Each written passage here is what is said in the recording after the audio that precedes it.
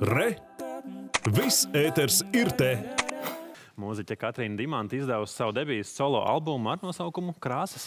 Jā, tajā ir apkopots 11 dziesmas, un kādas tad krāsas caur visu šo jauno albumu mēs arī Katrīnai jautāsim.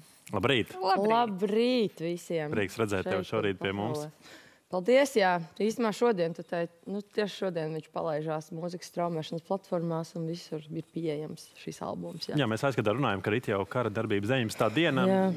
Cik svarīgi tev kā mūziķai, kā skatos cilvēkam šobrīd ir neapstāties, turpināt darīt iesākto, turpināt vēstīt par Es savām teikšu, domām, godīgi, emocijām? es apstājos.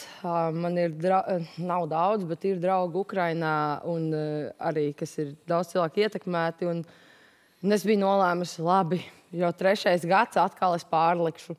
Un tad es runāju ar saviem draugiem gan tur, ā, gan Latvijā. Viņi teica, nē, lūdzu, mums kaut ko vajag, lai uh, iet uz priekšu un kaut vai, piemēram, klausoties albumu, varētu aizmirst uz to pusstundu. Ka, nu, nevar aizmirst, bet kaut kā nedaudz vieglāk. Domas novirzīt. Un tad, tā kā es sapratu, labi, eh, nu, tad, tad šis ir tas laiks, eh, kā ir jābūt. Un, eh, nekas, cik labi, ka mana problēma ir šāda, vai ne? Un nav citas. eh, Kā, Jā, šis laiks ļoti man liek sirds lūst, es tā varu teikt. pārvērtēt to, kas patiesībā dzīvē ir svarīgi. Jā, bet eh, piemēram tā dziesma, ko šodien parādīšu, tā ir arī, ko es dziedāju eh, kongresnām koncertā, ko Ralfs Eilants taisīja. un, Viņa, piemēram, pati pat pirmā dziesma, ko es uzrakstīju, bet, manuprāt, šobrīd ļoti piestāv, ne jau piestāv, bet viņa atspoguļo to situāciju arī, kas notiek. Un, un eh, teikšu godīgi, tur bija ļoti grūti dziedāt. bet uh, ejam lēnām, maziem soļiem uz priekšu un uh, ticam Ukrainai un, uh, un būs viss labi. Tas mazais nopietnais solis, kas šobrīd ir albums, debijas albums, krāsas, 11 kompozīcijas. Nu, kādā stilā, kāda stila žanra mūzika tur ir? Nu, tas ir tas mans Katrīnas Dimants eh, mistrojums, sajaukums, jo tur ir gan folk mūzikas ieskaņas ar latviešu tautsdziesmas tekstiem, gan eh, dažādas autoru mūzikas ar popmūzikas ievirzienu. Un ir pat viena, kur cilvēki var paklausīties, kuras tā kā repoja, bet tā kā amerikāņu tas country rap, kur tu kā rečetē uz vienas nots vai kaut kā tā. Tā bija ļoti interesanta pieredze kopā ar uh, dažādiem māksliniekiem. Līdzskaņas nometnē uzrakstījām to dziesmu. Es domāju, nu, ja nu kaut kur, tad šajā albumā viņai ir vieta. Par ko pašai tagad ir vislielākais gandarījums? es tieši vakar domāju, es domāju, viss ir izdarīts. Un es domāju, kā? Tik ilgi sanāca, viss covid, visas tās lietas, un tagad karš sācies. Un, ka īstenībā man ir komanda, un es esmu ļoti priecīga par to, bet īstenībā lielāko smagumu iznes pati. Un tad šodien jūtos tā kā tiešām, ka, ka ir tāds neliels gandarījums, lepojos un priecājos, ka tas ir paveikts. Jā. Var jau būt reizēm tās lietas arī var nedaudz atlikt, lai tad tā finalizējas tajā īstajā momentā. Varbūt šobrīd ir tas īstais. Man moments, jā? vairāk draugu rakstīņais, kas, kas lēni nāk, tas labi nāk. Tieši šorīt. un Tā. tā kā ir divējādi sajūta šorīt par to runājot, bet eh, es esmu priecīga, ka viņš ir tagad ārā pieejams. Un jebkurš, kurš grib, var iet un noklausīties un domāt, ko viņš vēlas domāt. Nu, un uh, mēs, un mūsu skatītāji, noteikti būs ļoti priecīgi tagad dzirdēt, ka Jā, es ceru, ka arī jūs. Protams.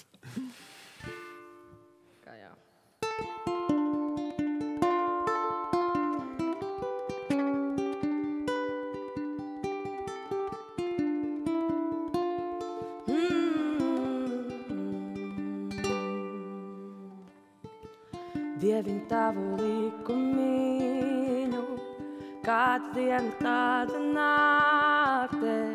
Dieviņ tavu likumiņu, kāda diena tāda nakts. Cik augšā ir sīku svāršņu, zemē sīku akmentiņu.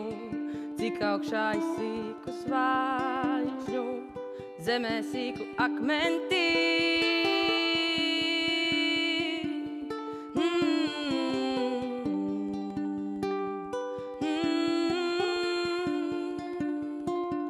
Kur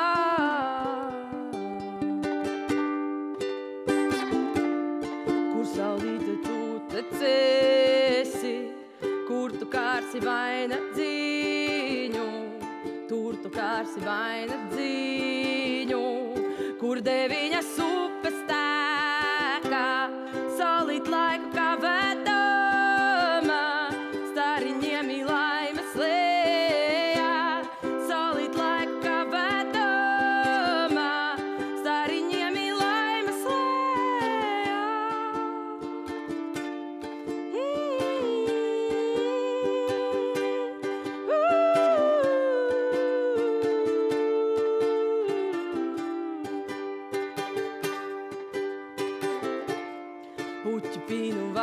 dziņu, ozolā izsēdēdama, sudrabiņu sataupīju, mazajā māsiņā, saupina vaina cīņu, ozolā izsēdēdama, pincaulīte dod man vienu, man jāiet totiņāsi,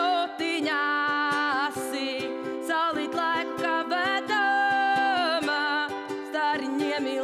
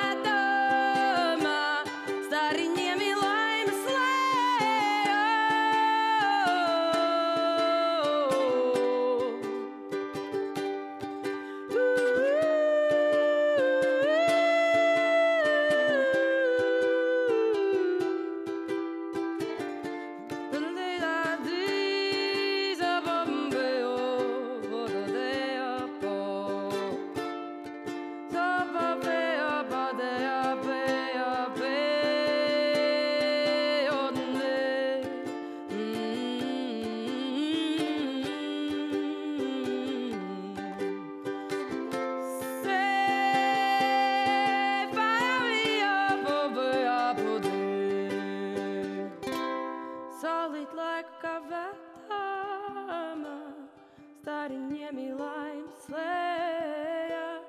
Salīt laiku kā vētāma, stariņiem ir laimes lējā.